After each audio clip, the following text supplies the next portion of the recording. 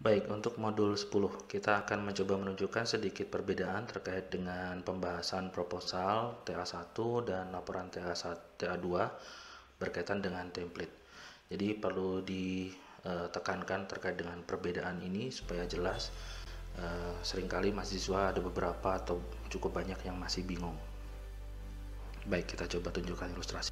Kalau kita coba tunjukkan ilustrasi seperti ini, ini adalah Eh, posisi untuk semester 7 dan semester 8 di program studi. Di situ dibagi menjadi tugas akhir uh, dan tugas akhir dua untuk satu rangkaian. Tugas akhir satu ini akan diakhiri dengan proses sidang TA1 dan di sini juga diakhiri dengan proses sidang TA2 sidang TA1 kelengkapannya itu salah satunya berupa proposal.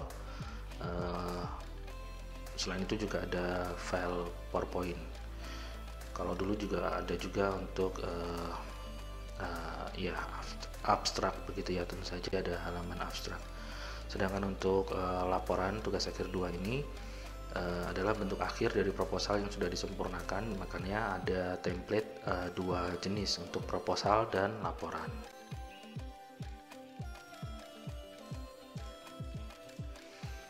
Baik, berikut ini adalah uh, ilustrasi untuk perbedaannya. Uh, misalkan sebelah kiri kita uh, tunjukkan untuk template proposal dan sebelah kanan untuk template tugas akhir. Nah, di bagian ini tentu saja untuk persiapan sidang tugas akhir 1, bagian kanan untuk uh, persiapan sidang uh, sidang tugas akhir 2. Tentu saja ini uh, ada perbedaan di sini, tentu saja ini juga akan uh, berbeda begitu ya.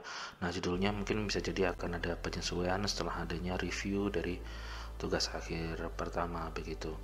Uh, selanjutnya kita juga akan lihat untuk contoh uh, perbedaan terutama di bagian akhir. Berikut ini di bagian akhir untuk uh, template dari proposal biasanya itu ada hasil awal atau ringkasan laporan awal dari proposal. Jadi bisa ditunjukkan beberapa kesimpulan awal tapi tidak disebut sebagai kesimpulan tapi mungkin hasil awal begitu. Biasanya dituliskan di bab 4 atau bisa jadi di bab 5 juga. Kemudian untuk rencana penelitian selanjutnya itu bisa dituliskan di bagian akhir karena setelah tugas akhir satu masih akan dilanjutkan di uh, sidang tugas akhir 2 nah rencana penelitian ini uh, sebaiknya dibuat di awal. Jadi nanti akan baik kalau sudah di awal sudah terencana dengan baik. Kalau dibuatnya di akhir biasanya akan cenderung lebih uh, bergeser atau lebih mundur begitu.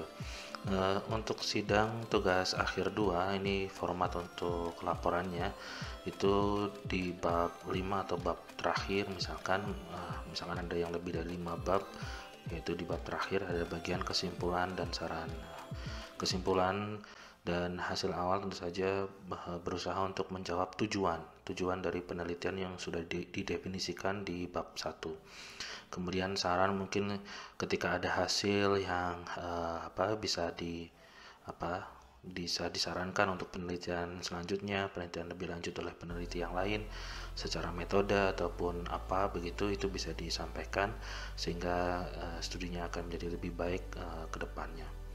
Oke, demikian untuk pembahasan berkaitan dengan sedikit perbandingan antara uh, template untuk proposal dan juga untuk laporan tugas akhir. Semoga bermanfaat. Terima kasih.